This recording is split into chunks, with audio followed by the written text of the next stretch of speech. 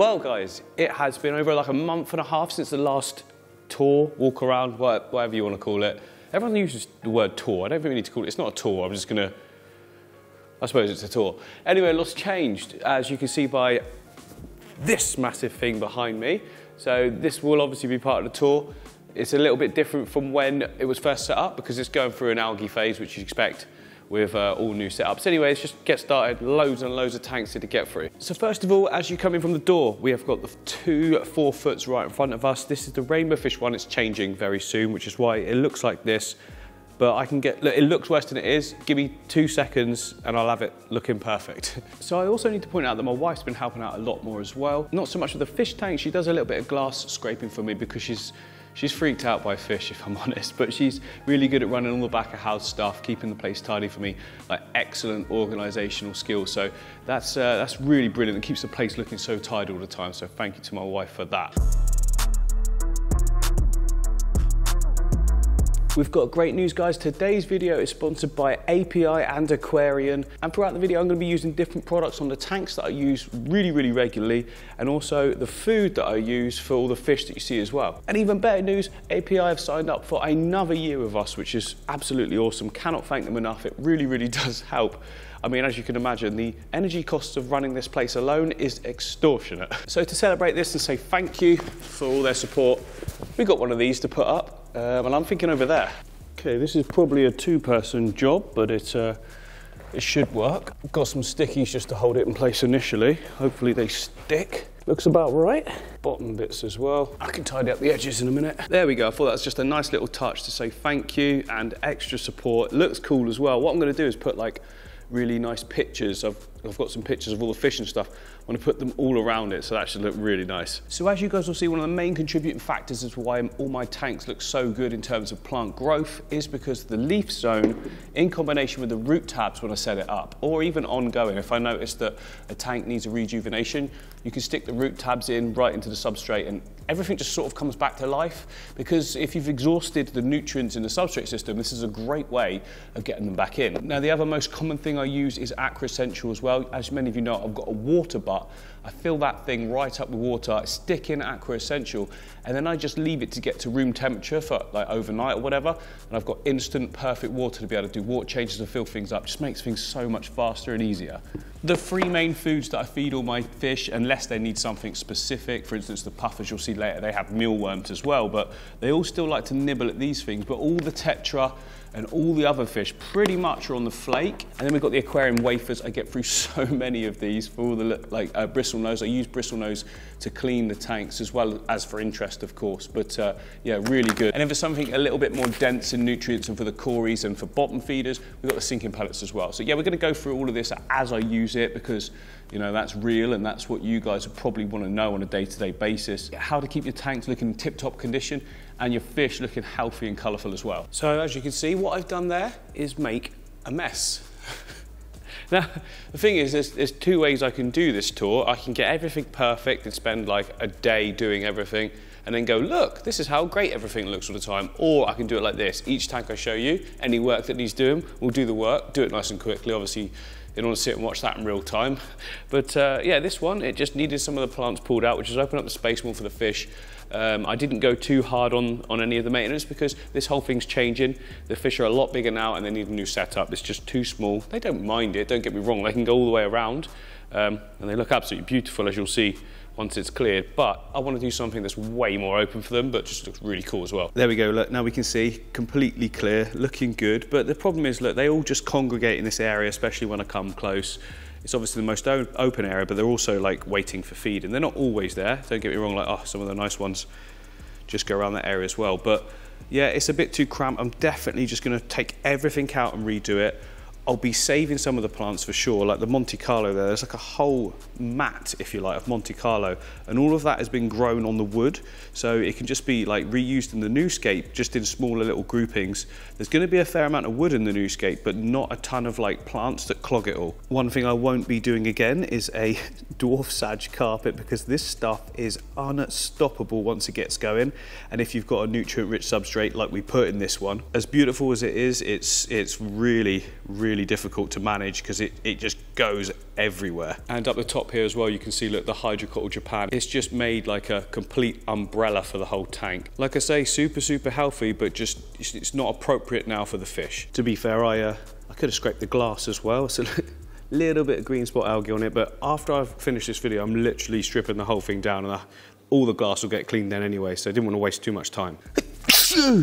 uh, I thought I was better, I am. Um, so feeding wise for this tank, we have got the Aquarian flake food. These guys, look, they absolutely love it. They want it already. and then we've also got a lot of cories down at the bottom as well. We've got skunk cories, quite a big size. We've got a pellet for them as well. But first of all, get the flake in for them. Come in then. Getting excited. Oh, I've run out of flake food. I need more. Always nice to get a fresh pot. Okay, guys, here you go. Come and get it. It's so funny to listen to how I'm too close to that. Obviously, they're bigger fish. There's a lot of them, so always feed a little bit more. Just as much as they can get through in about, I don't know, a minute or two and they eat fast. Like they, by the time I've normally gone over three or four tanks, come back, it's always empty. Now obviously the cories will pick up any flake that goes down the bottom as well, as will the snails. But I also like to put in some specific sinking pellets for them as well. Because as I'm sure you imagine, you, you don't see them too often with this growth. Um, so it's nice to just put some in the front area and get them coming over there. I'll get some shots in a minute. Once they sense it's all here, they start coming round. There we go. Look at the Madagascan. Look, oh, he's gone to the back. No, he's not. There he is in the front there, the Madagascar with the red sort of fiery tail there. Such a nice fish. And I see you're just being nice and patient, Boeseman. So yeah, very good. That's the lighter subdominant one. There's the dominant one. Look at those colours. Awesome. Obviously the flake helps massively as well with uh, getting good colours, but yeah, I think you can agree. Great colours in the rainbows. Look at the blue. Whoa. and then we move over to the end of tank next to it. This is a relatively new setup. It's less than a month old. It's doing fantastically well. Plants are growing great. If anything, once again, they're too fast. Not the plants inside. I trimmed a lot of those back already and used them in the new 8 foot. The floating plants, though, they are growing crazy fast. They're blocking a lot of light as well. But not too much light because down here, I put a brand new uh, flamingo in here and it's already sprouting out all of the nice red leaves. So there's obviously a good amount of light still coming down. And once I strip back these uh, floating plants and trim back a, few of the background stems as well, it'll be just right. There's not really a lot I need to do do for it other than that. We've got a ton of babies as well, so they're all breeding really good, which is great, like proper babies. Nice.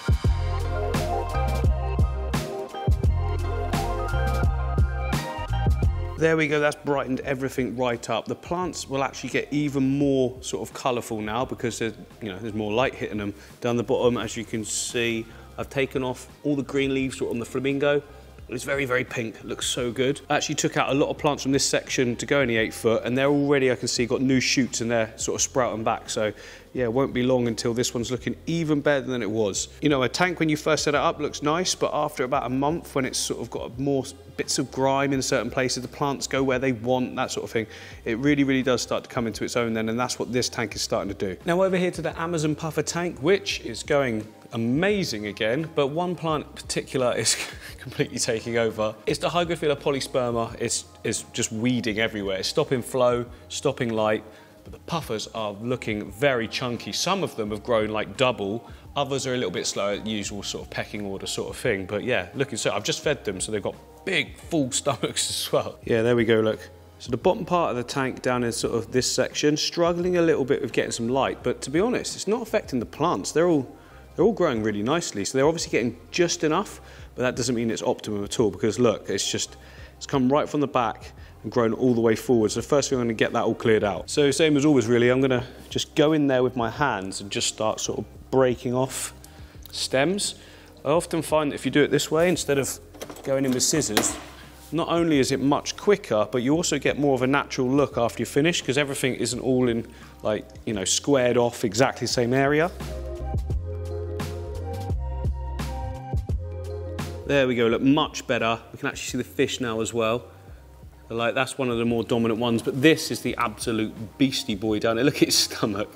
You little fatty. He must have got a few more of the mealworms than the rest of them. But again, that's probably why he's the biggest, because he always goes around and just like rips them off the others. I do stand here and I make sure that everyone sort of gets one at least.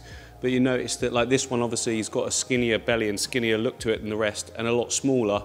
I mean, I always make sure they get fed though. So, and I can actually hand feed as well with the uh, pincers and just hold it right in front. So, yeah, everyone gets fed. Everyone's doing really well. They're, they're much bigger than when I first put them in, that's for sure. So, some of the plants that aren't doing well are the Java ferns. You can see there at the back, look, got like quite a little bit of die off. Now it did completely go, but I've been dosing tanks now that have got Java ferns in with even more uh, leaf zone than I usually would to any other tank. And that has really helped a lot of them bounce back. So you can see there, look at, look at those really sort of they're gone. I mean, they're not coming back at all. They're not even putting off like baby Java ferns either, but the ones beneath it are all the sort of new growth in the tank, and that's been since dosing. So yeah, heavy dosing for Java ferns I've found.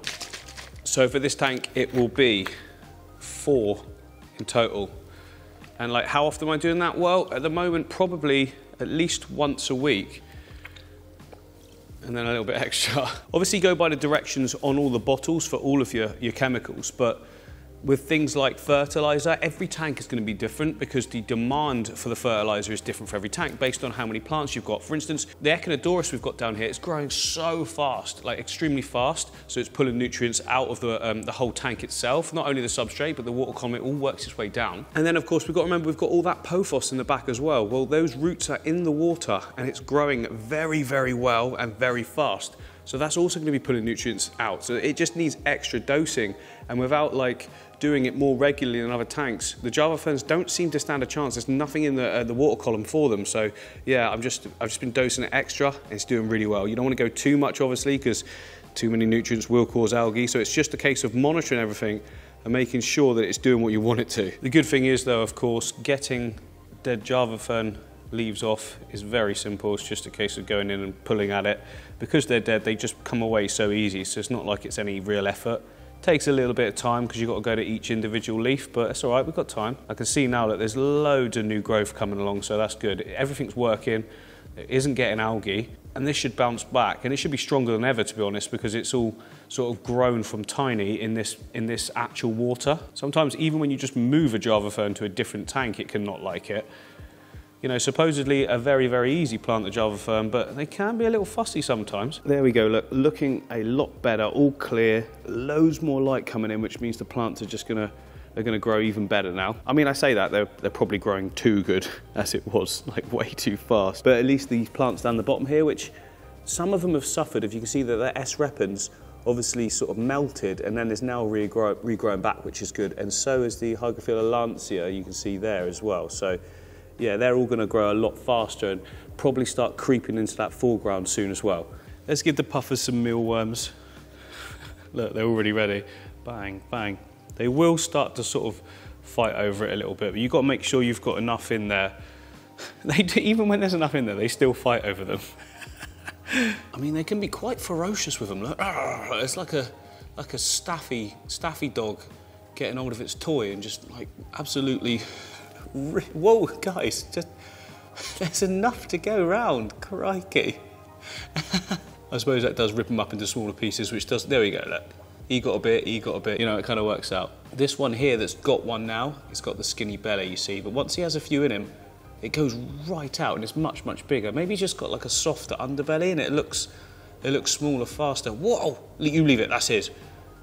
Leave it. We've also got some uh, albino cories in this tank as well. So there's one down there now. So a little sprinkle of the Aquarian sinking pellet coming forwards now. Uh, the peas also like to have a go on it as well, which is quite nice. Yeah, a bit of extra for them.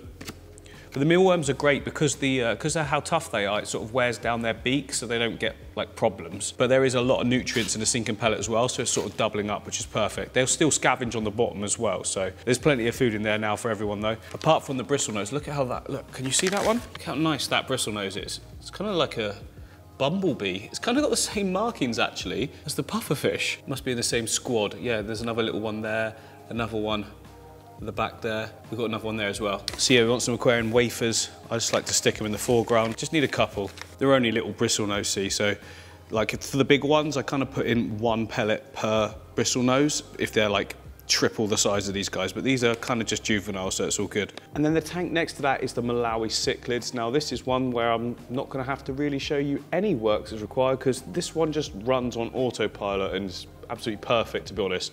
for the plan that was growing out the fish. You know, I'm able to feed it a lot and it still doesn't get algae or any problems. So I did originally have higher sort of lighting on this tank when I first set it up, the strip light, and I was like, you know what, I think it's too bright for what we're going for here. So I took off the strip light and bought these two small little, um, what, what, gooseneck? Gooseneck lights? I don't know. Spotlights, I suppose, yeah. And uh, they create just a nice little sort of shimmer on the surface that gives that sort of rivery, lakey vibe but also the tank isn't covered in algae either, which is great. Because there isn't any plants in the tank, it means that, that any waste from foods that's settled would actually produce algae, but we're not seeing that at all.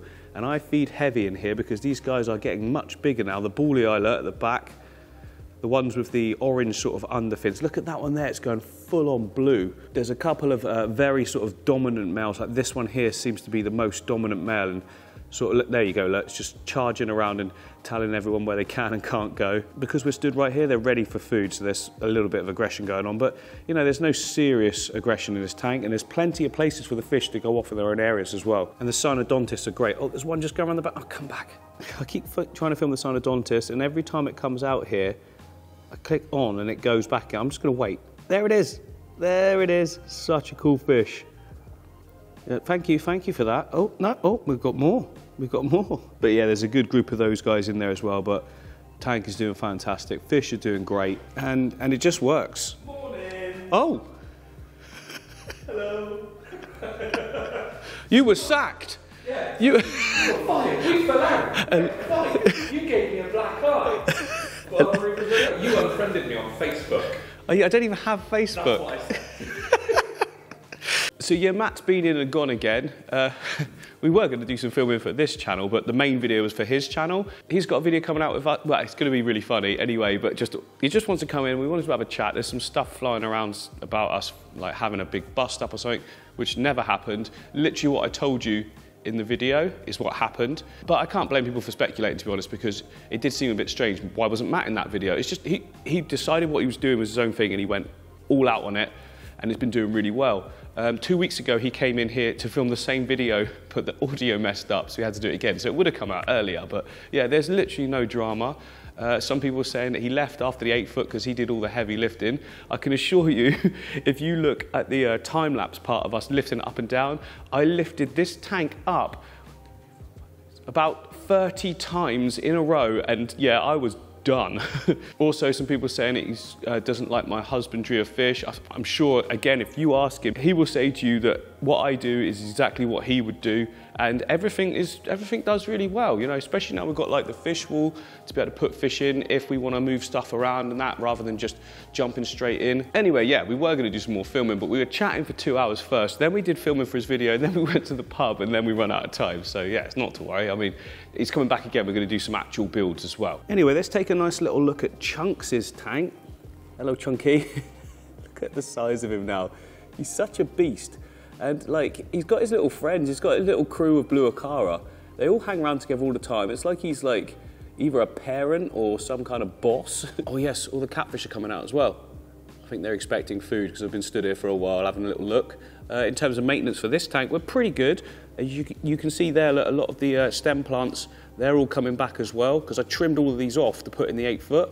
Already growing. So you do find in a, a well-established aquarium, plants will just always grow faster than anywhere else. And I put in one little sprig of this polysperma and now it's like gone everywhere. So I'll, I'll trim that back actually because it's getting a little bit too much. Fish-wise though, everyone's doing really, really well. There's a little bit of a tint to this aquarium and there always has been. I mean, obviously look at the size of that bogwood there at the back which goes all the way over the top as well. It's never ever going to be like perfectly clean because that wood will just consistently leach. Even if you put stuff in the filters to pull it out, it clogs those up like within days as well. But it's cool, it's quite a nice little vibe, a little bit different to every, everything else as well. So yeah, I like it. Needs a little bit of a glass scrape, as I think you can see. Maybe a little top up, but that's it really. There we go, all nicely sorted. Uh, I'm gonna feed a tank. This one's really fun to feed because uh, Chunks is always ready, look. He's poised, he's ready. Even if I put my hand up here sometimes, he'll come and have a look. He won't now because I've been in the tank cleaning, but he normally comes up and bites my finger. But he's wise, he's very wise fish. He seems to know everything that's going on everywhere. Let's see how well he notices me picking up the food. Yeah. okay, buddy, calm down. Everyone else does as well. Look. Right, I do a big thick pinch because he likes to gulp at it. Oh, crikey, guys, chill out. There we go. He likes to take, he likes to take a big gulp of like a solid clump. I just leave it in this corner. It works its way around. All the other fish sort of, there's a pecking order, you know. Tetra stay that way. The Acara second, and then Chunks can just do whatever he wants. This is what I mean. You'd sort of expect to see some aggression between him and the other fish. Like, you know, this is my food. But everyone's really chill. And, you know, I'm really pleased with that because for a while, I thought he was getting too aggressive. And I was thinking I was going to have to put him in a tank on his own, which I do not want to do. I, just, I don't think that's great for any fish.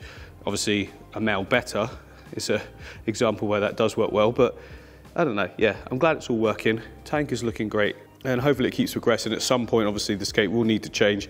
I don't know how big he's going to get. Also, the Acara can get to his size now as well when they grow. I mean, you know, given time, they're already a lot bigger than when I first got them. So, yeah, at some point we're going to need to switch it out. But I think it's absolutely fine for the minute. Now the next tank is the angelfish tank. Uh, I could do a whole big trim up session right now. I'm not going to. Switching up a little bit soon. The angelfish have gotten big and uh, they need a lot more space. In This aquarium is a good size for them at this stage, just less stuff a bit more of a fish tank, but with a little bit of zhuzh to it, whatever that means. So that's what I'm going to be doing. Yeah, so lots and lots of plants, keeping it all healthy.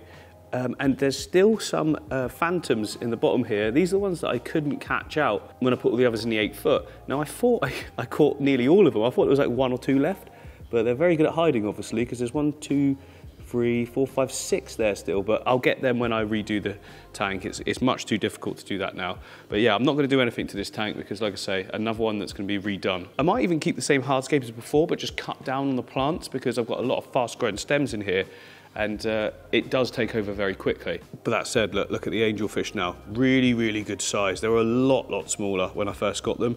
To be honest, they were all the same size as this one here, but as with you know any group of fish, you're always going to get bigger ones and smaller ones. But look at that one. Oh, these two actually, those two were in my other scape, so I've had them longer, but absolutely fine specimens, aren't they? Yeah, so they'll get a new tank. This one's running perfect. It's just it's a bit cramped now, and I'm having to trim it every like week or so. And yeah, we can do better. We can do better. Now, in terms of the fish wall, there's not a huge amount to show actually, because most of the fish.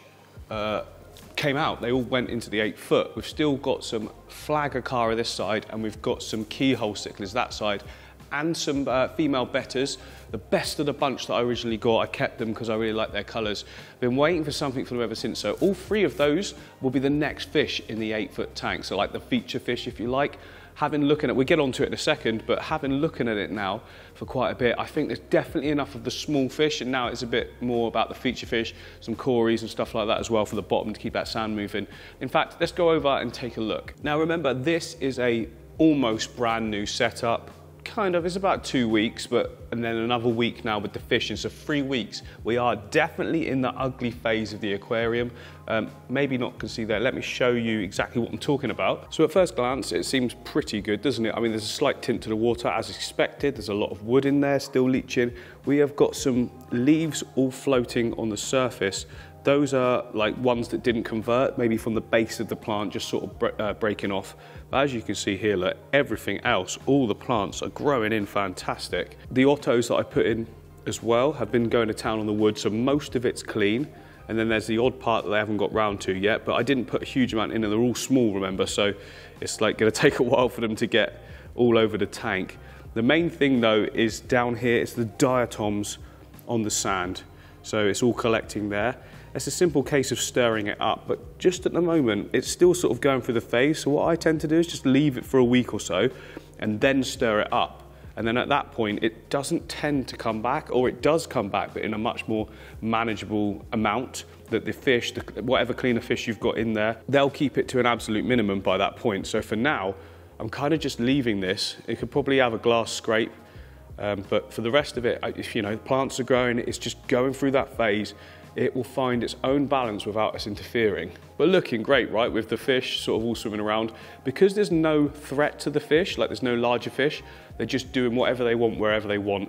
And, you know, it's quite serene. But once we add in the different sort of fish, like the keyhole's a little bit bigger but non-aggressive, the flag Acara, they've been in with loads of tetra before and been absolutely good. They will, they will sort of bunch up and sort of flow around the tank a little bit more. So I'm really looking forward to that.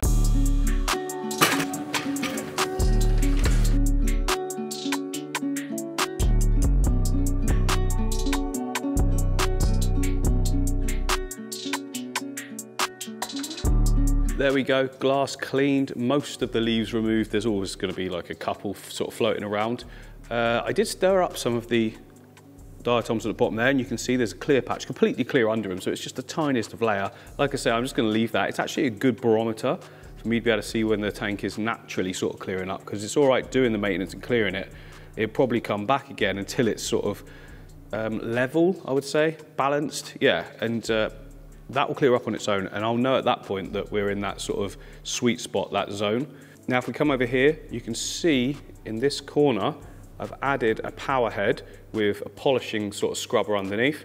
Uh, there's a little bit of haze to the water. I think that's pretty much because I've just stirred it up, but also I didn't clean any of this sand before I put it in. so much of it. It said it was already clean, so yeah, it's all good. I'll add in some AccuClear and you watch, this will go like crystal clear within the hour. Yeah, so we're using AccuClear. Now you need to make sure whatever filter you're using has got the fine polishing sort of, uh, what do you call it, filter floss?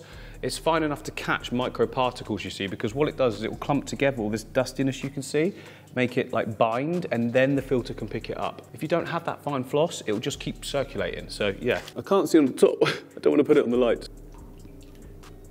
So this is what will happen at first. It'll get this sort of mistiness to it. Don't panic. It's just where the, uh, the anti-flocculant or whatever it's called is doing its thing. It's like binding everything, making it more noticeable because it's all clumping together. That will go over the whole of the tank and then, you know, like I say, within an hour or so, it'll be completely clear. There we go. We're looking miles better already. Look at that. It's a lot more vibrant. The colors are absolutely popping in the tank. This foreground is going to clear over the next week, I'm sure of it. If it doesn't, I will intervene, but I do like to leave things, as I say, to their own devices, at least to start with. Just let it get its own balance. You can't constantly be fighting against it. If it's not finding the balance, you need to switch things up a bit. Maybe it'll be flow, something like that. But I'm confident that this is going to be perfect. So I'm going to leave it as it is. Fish seem happy. Very shortly, we're going to be adding in even more fish as well. So nothing really changed on this side of the aquarium. Obviously, we've got the Mabunas here, M Mbunas. Yeah, someone did correct me and they were from Africa, so Mbunas. Now I'm questioning myself, I don't know. Anyway, they are doing fantastic. They're still growing great. Uh, no aggression really, just gentle stuff. But yeah, the tank looks a little bit tired now. Um, I'm kind of thinking that, again, I want to switch this up for them soon. Having now done another scape for Malawi cichlids that doesn't have plants, I'm, I'm, much more open to do it again. I know how well it can be done. And I feel like these guys, there's a lot of them, they're a big size. There's an opportunity here for a ton of rock work. Like, I'm I, I kind of want to do a mountain scape, like big mountain coming out the back sort of thing that, that sort of has crevices and everything all between it. So looking forward to being able to do that for them. Again, though, another great tank to feed. I mean, let's face it, cichlids are absolute pigs. So like they get through a good sprinkle of that like pretty much instantly. like you give it like a minute, nothing's left. So I tend to do two sort of handfuls for these guys. It's just a lot of them. They're getting nice and big now. It's obviously working really well. There's the uh, catfish at the bottom. They will scavenge. They're a type of synodontis, so I put a, a few of those. The cichlids get those as well, but uh, I just let them sort of fall down. There you go. They're all coming down all the synodontis are out. We've also got some bristle nose. So for the bristle nose, it's the algae wafers as well. I put whole ones in, and to be honest, the mbuna, they like to eat that as well. They like a little bit of vegetable in their diet, as you can tell. When some of the leaves aren't doing so good, and then the plants, they'll like eat that as well. I like to put the algae wafers right at the front if I can, and then that way I can see if it's been eaten or not. I mean, it always is in this tank. The archerfish tank is doing amazing as well. The uh, Danios are always out now. Oh, look, look, look, we've got one coming forward. He's like, he's filming, he's filming, he must be feeding as well. And then the other ones, they come as well, look. They're kind of sheepy, they are, archerfish. They, they follow the brave one. But yeah, we've got great growth on all of the plants. Like the uh, feeder there that has gone absolutely nuts. And all the Java ferns, these are all brand new as well, so that's great. Then the Bolbitis, I've never had such healthy Bolbitis as I do in this tank. That's like a brand new leaf there one above it as well, looking so good. Oh yeah, and over this side as well, look. It looks like the sort of Bolbitis that you'd want to show as the advert. but yeah, they all know something's going on, look. Everyone's congregating. So a bit of flake for all of the smaller fish. The uh, archers will have it as well, to be honest. Not while I'm stood like this, because they're waiting. They want the mealworms. They've been having the mealworms uh, every sort of third day, something like that. Because if you think about it, in the wild, there's going to be bugs and everything falling from trees, and that's the stuff that they're going to be looking for. They're archerfish, they're trying to shoot it down. They're not so interested in the flake. They will eat it, don't get me wrong, but they're, yeah, there we go. I just saw one eat a big chunk actually. So they will have it, but they really like to interact with the, uh, the bugs. They tend to stay in that back section when I'm at the front here until they start seeing some mealworms, then they'll come forward. We'll let all this clear up all the other fish can eat all of this, and then they'll have their treat. And that might look like a lot of food. Remember, there's a good amount of big danios. We've got all of the loaches as well. We've got the Siamese algae eater there. There's also the perch in there. Where's the perch? There we go. Got the perch there as well. So yeah, they're all mature, decent sized fishes, so I make sure that they've got a, a, good amount of food. Now I did used to feed a lot more lean, and I just found that like I wasn't getting the growth I'd like to see. The fish were all still healthy, but I get much faster fish growth now by putting in a little bit more. Um, that was probably a little bit more than I usually would, to be honest, so uh, don't judge me on that. But yeah, I'd rather put in a bit of extra food now and have to deal with a little bit more maintenance. It doesn't bother me, it's not that hard, but you do know then that the fish are getting the right amount. And I mean, just look at the health of the Danios there looking so good. They're not normally particularly colourful. They weren't like that when I first got them, but now they've got all those really nice sort of orange tips to them as well. The perch as well, under that light, the back there. Oh, he's hiding. Come to the front, come to the front. Really, really cool fish. Predator as well. Right, all that food has been decimated. It's time to feed the mealworms. Look, here they are. Lovely. My wife Kate will not go near these. Now, I've gut loaded them with fish food as well, but chuck them in the foreground like that. Bang, sometimes their aim's a little bit off, but they, they like hammer them straight. Whoa, look at that. They're so fast as well. Most of the time, they catch them without me even seeing, but it is very fun to do. You guys getting this on camera? I'm not sure. Yeah, you must have. So fast. Oh, the little perch is like, where's our mealworms? Now you guys have all the other stuff, come on. Now up the top here we have got the red tank, which is almost due a trim. I say almost, I'm just waiting a little bit longer for those sort of foreground plants just to grow a little bit and then that way I can trim them and have them of a good height that I can reuse them or bunch them together for another scape. So another week or so, and I'll be doing that. And also the top is covered in red root floaters as well, which look beautiful, but I'll be harvesting those, take them to the fish shop, be able to swap them, swap them out for some fish and, you know, provide red root floaters to their customers as well. Oh, here come the fish. Hello guys. They have coloured up so nicely in this tank. They just look beautiful. Let me get in. Oh, bit of a bit of spar in there between the males. Yeah, those are the males for sure because they're so orange. But yeah, not really much to update on that one. It's uh, it's, it's, become a, a, great farm tank for reds, if I'm honest. Fish seem to love it as well, and there's lots of breeding from the shrimp that I put in there, so that's good too. And then next to it is the guppy tank. We've now only got one pair in there. Uh, the males obviously been bothering the, the female a little bit too much because she looks to have taken a little bit out of the back tail there, but she is looking absolutely perfect.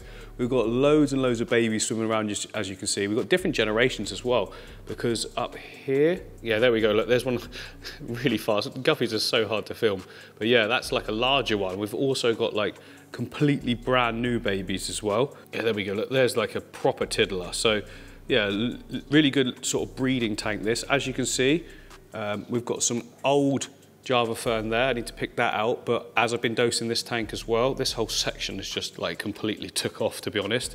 Even with me cutting some of it out recently, I can remove the dead Java fern pieces there. And everything else has come along actually all right because we've even got a little piece of cut off of red rotala there which is growing beautifully, which shows me that the tank is doing well because that wouldn't be growing otherwise. So there we go, that's the dead Java removed. Looking a lot more fresh again, but I feel like the, the plants, especially the stems, are looking a little less vibrant. So I'm gonna add in more of the leaf zone. It's been working well with the Java, so it just needs a little bit more. You've got things like pearlweed in the tank, sucks up nutrients so fast, so you just need to adjust how much for each tank. Like every tank is different. This one needs, definitely needs more. Oh, we've got a friend, we've got a friend coming to the front. Hello, Timmy. How's it going, buddy? He's waiting. He hasn't been fed to actually. Oh, look, look at these Odessa barbs. Look at the colours on these bad boys. Well, those are the boys. There's the female as well. They breed in this tank, believe it or not, even with Timmy. Timmy will try and hunt, but he's just very, very slow, isn't he? So he, he very often just misses. But uh, yeah, I'll give you some food in a minute, buddy.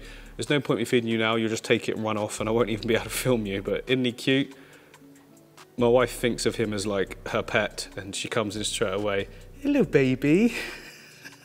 Mummy's here. A... Look at his face. He always looks like he's smiling. He's so cool. Right now, moving on to the clownfish aquarium. We've got our anemone as well.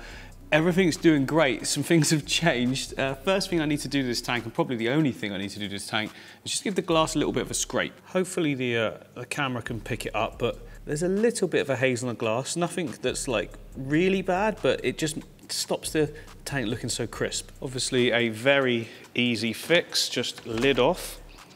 And then my razor scraper, making sure that the clownfish stay back.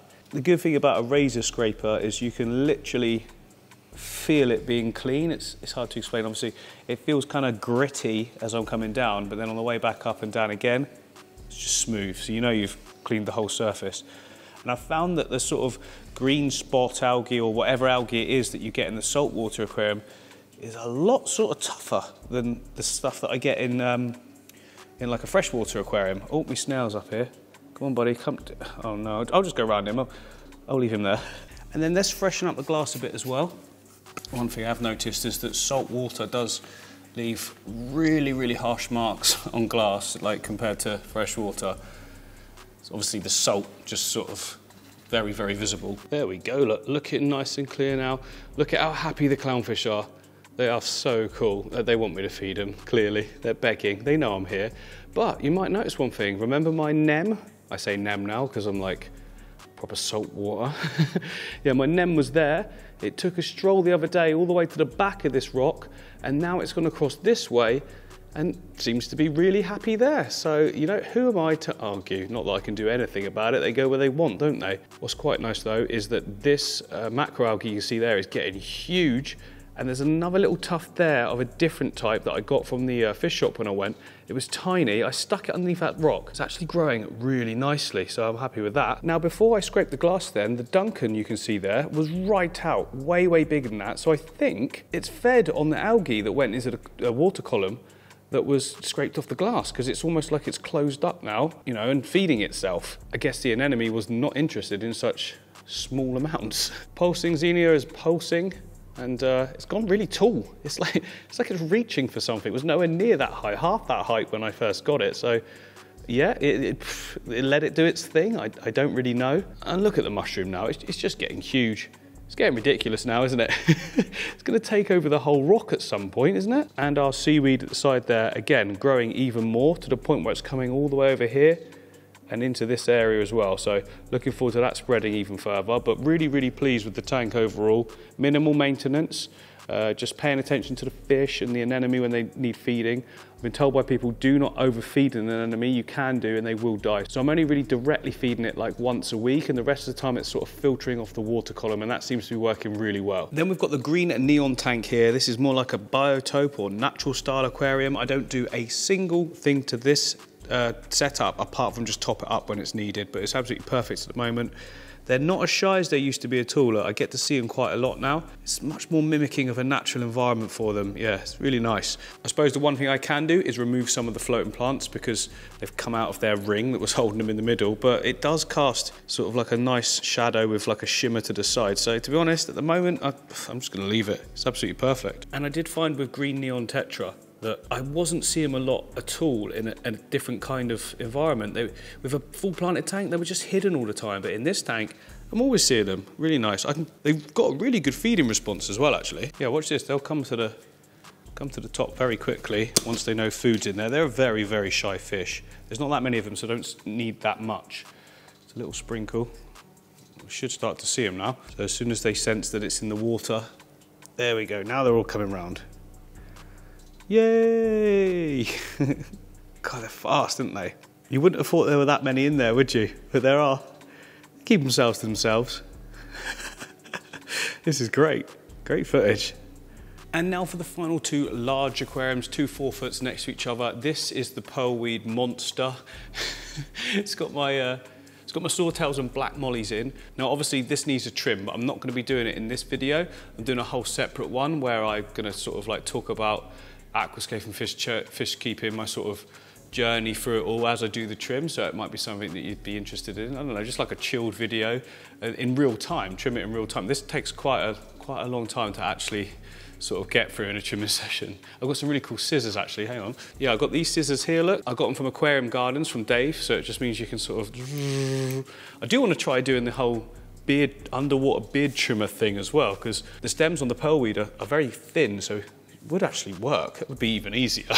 yeah, so this tank has not had CO2 running on it now for like several months, and thank goodness for that, because if it did, it would be unstoppable. But you can even see like there's lots of oxygen just coming off of all the plants, and that's even without having CO2. So really good lighting for a start. I love these Lumini sort of uh, spotlights. And a little bit after I turned off the CO2, I noticed that the growth sort of slowed down. And uh, that worried me that I wasn't going to get any at all. So I added in a load of leaf zone at that time. And it, it has literally just non-stop since then. So yeah, this would be a really tight sort of trim up I do this time. I'm going to come right down with it, but it will look really, really good when it's done. And plants growing this fast is just an absolute sign that the tank is perfectly balanced. There's no algae anywhere, not even on the rocks. Like normally with rocks you get some algae. There's algae's got no chance in this tank. How is it going to outcompete this lot? They call it pearlweed for a reason. And the final tank on the tour is the angelfish and cardinal tank, the red stick tank, whatever you want to call it. This is, again, I don't have to do anything. Perfect. One of those setups where, like, from day one, I've had zero, zero problems with it.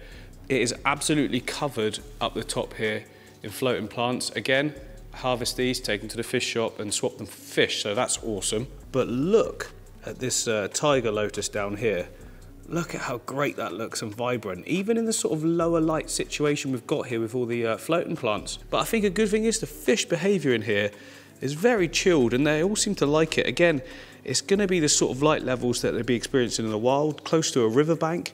And I think this sort of simulates that really well. And I also like the way we get the little bit of green mixed with the red as well, because at the top we've got red root floaters here, and then we've got the mini water lettuce on this side.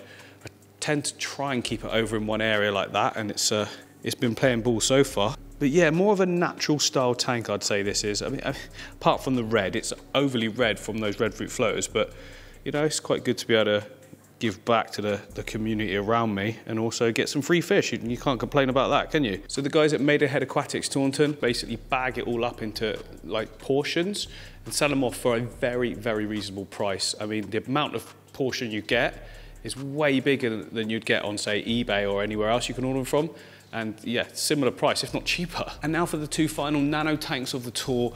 We have got the shell dwellers this side, and this is a little ecosystem aquarium I've recently set up. I've released a video already. It has got some absolutely stunning neon green Rasbora in there.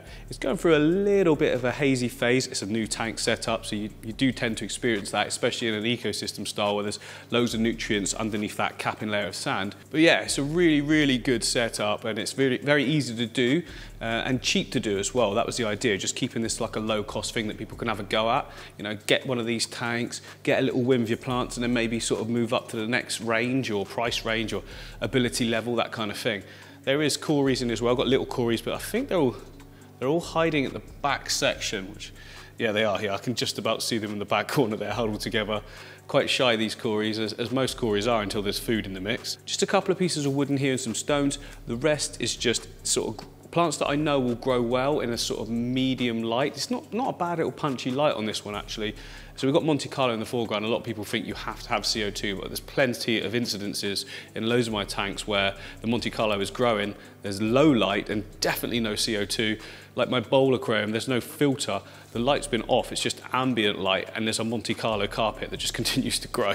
And then finally, we have got the shell dweller tank with the plants all growing at the top. A classic, the peace lily, this side, doing fantastic. Look the flowering flowers looking great. And then we had this other one here, which we thought was a ficus, but isn't a ficus. And look, look at all this brand new growth. So that has worked as well. I was starting to think that maybe you can just put any plants, house plants in the water and, and they'll do good. So maintenance wise in this tank, I don't want to do anything to be honest. These guys have basically, you can see here where I've scraped the glass a little bit. These guys have scaped the tank themselves. Whatever they've done is how they want it, and to come in here and start sort of sucking up little bits of cyanobacteria or algae off of things, it just feels like it's going to disturb it. They're, they're really sort of peaceful. They've found their own little zones. Each one of them's got its own little home, and I'm pretty sure they'll start breeding quite soon as well. So for me to go in there now and just start messing around with that substrate after it's been, you know, a month and a half so of them like getting comfortable. I mean, look at the size of that pile in the corner there. That was completely flat. No, this is their tank. This is not for me to interfere with. Look at those two cuties at the back there. So some of them find their own little homes in the cracks in the rocks. Others are taking residence in the shells themselves. Most of the shells in the front are taken for. So yeah, there's cracks in the rocks and everything like that as well. I might add in a few more of these big shells actually, because I think they prefer to be in the shells than the rocks, or maybe that's me thinking they would. Maybe they don't actually care. But yeah, great little tank this one. I love that it's here, because when I'm watching something, I can just look to the side and just catch what they're doing and any sort of behavior. They don't do much behavior stuff when there's a big lens in the way, but they do when you just take a little look Oh no, they're doing something now. That's a male and a female, I think. But yeah, great little tank. Well, I hope you've all enjoyed this video. I've really enjoyed making it. There's plenty more to come, so make sure you're subbed and belled and stuff like that, and I'll see you on the next one.